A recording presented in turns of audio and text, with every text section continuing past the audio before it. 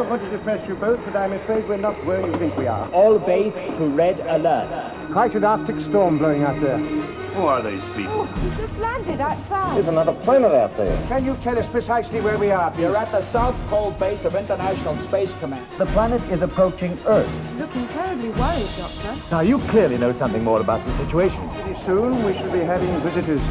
Hundreds of them! Information! We must get in touch with them. We are called Cybermen. There is no cause for alarm. We must be obeyed. I don't like your tone. Request permission to take offensive action You will become like us. by using the Z-bomb. Kill them at once.